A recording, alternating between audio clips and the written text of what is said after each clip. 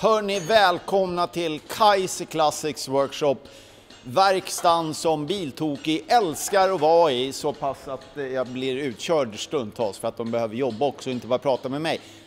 Sen så är det ju så att det har varit ett jäklans jobb den här vintern på våran BMW 2100 CS Blåbäret som renoverades och blev färdiglackad för nästan 30 år sedan. Sen har den då stått i ett varmt garage och myst, inte helt ihopsatt. Inte bara det att den nu har blivit helt ihopsatt. Vi har också bytt en väldig massa delar. Och nu är det dags för nytt avgassystem.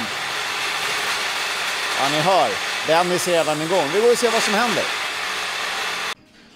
Dennis, du sa att du skulle sätta på ett avgassystem. Varför sågar du sönder bilen då? Det ju... Ja, man måste ta bort det gamla först. Och ibland så är skruvarna lite rostiga, då är det bra med en tigersåg. Just det, rostiga skruvar vet jag en del om ska jag säga. Men du, berätta, för här ligger något som ser alldeles nytt ut. Jag vet inte vad vi har... Ja. Rostfritt avgassystem vi lyckades hitta till slut. De var ju svindyra de här systemen tyckte jag, eller svindyra men... Ja, så vi började ju med att liksom såga av det rostiga, trasiga och lappa försökte, lite ja, liksom. lappa lite, men det, alltså den lät ju ganska balt men det blev ju lite, kanske lite för balt för en sån här bil. Mm. Eh, så då lyckades jag till slut hitta en, firma, en svensk firma faktiskt. Nu är de ju lite bucklig som du ser ljuddämparna och så, men det är ju till priset av att vi fick det faktiskt till en bråkdel av vad det egentligen skulle kosta. Och nu blir det inte bara den bakre delen som vi tänkte utan det är hela vägen nu då? Ja, inte hela vägen men det blir ju, man kan väl säga bakre Ja, det blir ju alla ljuddämpare blir nya. Det blir ju härifrån, jag vet inte vad, vad man, catback, men det är ju ingen katt på den här. Nej. men då från den bakre, mitt, mittendelen och den bakre delen kan vi säga då. Ja. Så att de främre piporna behåller vi då upp till och grenröret då. Ja, snyggt. Sen så när vi, när vi såg sist, då var vi faktiskt ute med, på första eh, provkörningen också.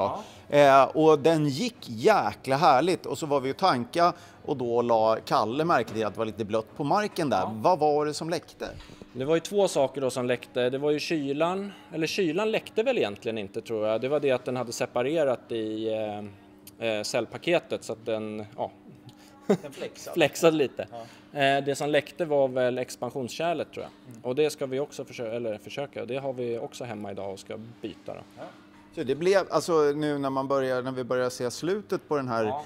Ja, ja, fortsättningsrenoveringen, det blev en hel del delar ändå. Ja, alltså. men det blir ju alltså, jag tror vare sig du eller vi hade trott att det skulle bli, ta så här lång tid att göra ordning bilen, men det blir ju alltså, ja, det tar så här lång tid när man ska beställa delar och det kommer, man startar upp bilen och det, man tycker att man har fått i ordning den, åker ut och provkör och så blir det mer delar som fallerar eller behöver bytas liksom.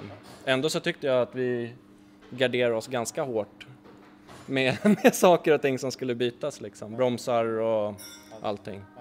Ja, ja, men då, eh, det här blir ju blankt och fint på undersidan. Mm. Och så är det ju lite det här också. Jag ska ju säga att, jag menar, tanken som, som både du och Kalle sa också från början är liksom, nu gör vi det här bra och sen ut och kör och så får man se om man ska ta den. För det är ju ändå så här att, ja men om man tittar, alltså om man ser här, främre delen på avgassystemet det är inte rostigt men det är ju beläggning. Samma sak med, med framvagnen och hjulhusen. Det är inte rostigt men det är lackat direkt på. Mm. Och då är det så här, ja men skulle man ta och blästra ner och lacka om och sådär. Men man måste ju börja någonstans för att hitta de praktiska sakerna liksom. Ja, alltså det bästa, jag, jag tycker det bästa är när man har, börjar ett sånt här projekt, det är ju att göra bilen kör, besiktningsredig och körbar och köra mer än en säsong för att se vad som händer liksom med bilen. Eh, att man gör som en liten shakedown och ser till så att allting fungerar på bilen innan man börjar slakta isär den, och, eller om man vill lacka om den eller vad man nu vill göra liksom.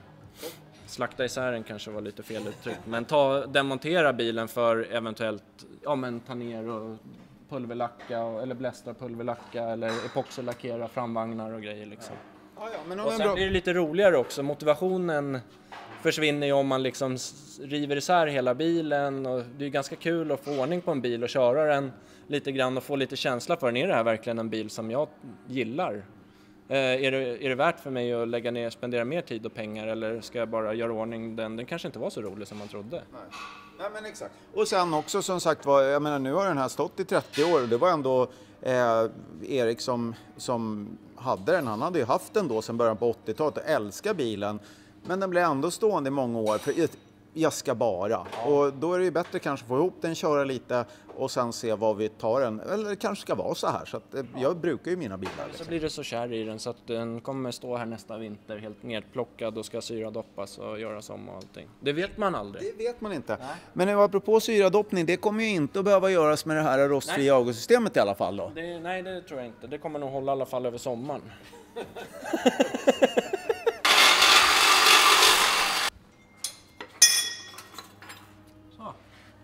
Nu är de bultarna borta i alla fall. Eh, Danne, ja? kan du hålla i där i bak bara? Fan vad alla ska ha hjälp, jag har fan inte tid. Vad var det nu då? Kalle ska ha hjälp, du ska ha hjälp. Jag måste hjälpa den där bilen, annars ska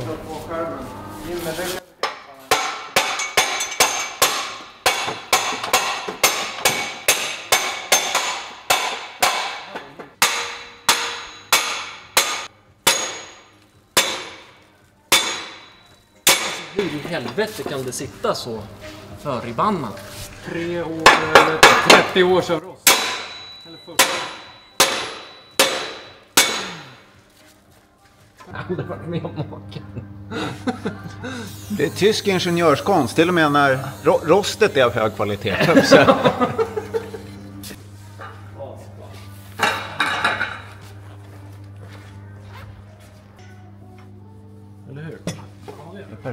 fanns ett skäl till den här bilen kanske. Ja. Nu skulle vi ha... En lyft till.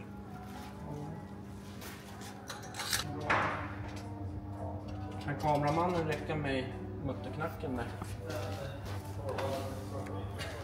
Jag har gjort den första insatsen. Annat än att störa.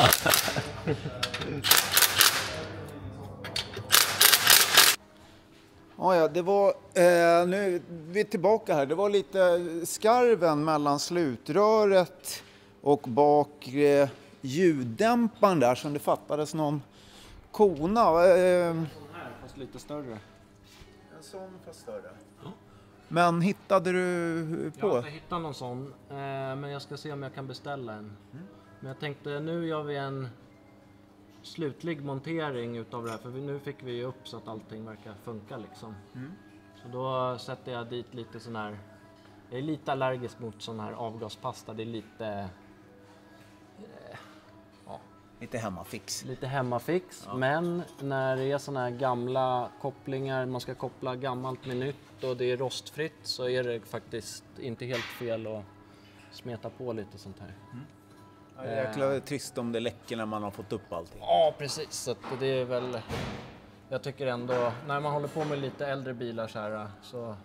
Och att när det inte är originalgrejer eftersom det är ett rostfritt system som ska ihop med ett annat. Och mm. det är olika, de har ju olika temperaturer, hur de expanderar och så också. Så. Sen kör vi med en liten fjäderbricka också. Så att det blir lite vibrationer, då är det nice att ha. Det finns även andra, kan, ibland brukar man använda kopparmutter och sånt också. Som gör att den inte skakar isär? Ja, den, de, är, de har en låsning i sig.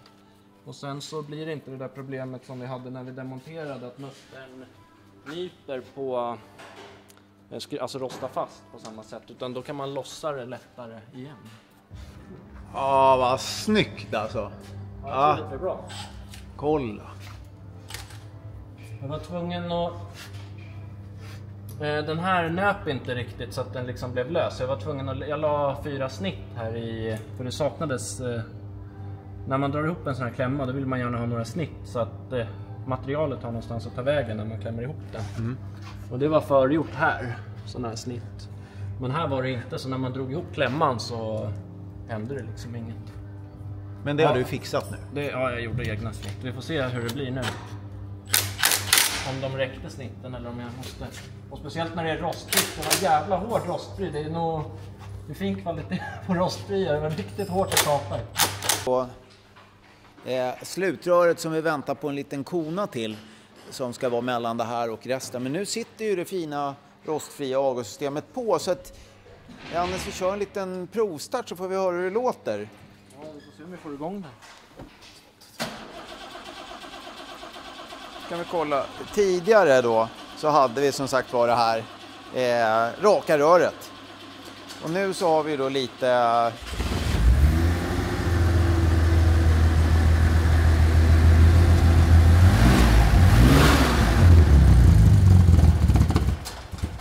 Kommer. Men...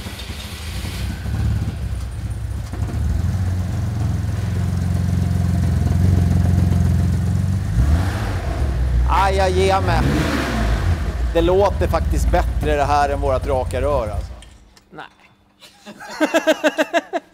Nej, men tjusigt. Det där får vi leva med, men då är det bara en kona och lite upphängningar och sen så är vi klara med den. Eh, vad sägs om att ge sig på det där med expansionskärl då? Det tycker jag vi ska göra. Och kylare är det ju. Ja, hörni, då fick blåbäret, trots att tanken är att göra så lite som möjligt för att få den körbar, men att göra allting rätt.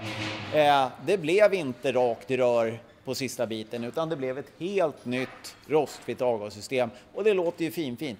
Eh, nu är det dags att ge sig på expansionskärl och kylare som vi upptäckte vid första provkörningen på 30 år att nja, allt stod inte rätt till. Så nytt expansionskärl och ny kylare blir det i nästa avsnitt. Kika då, eh, glad att ni tittar. Hej då!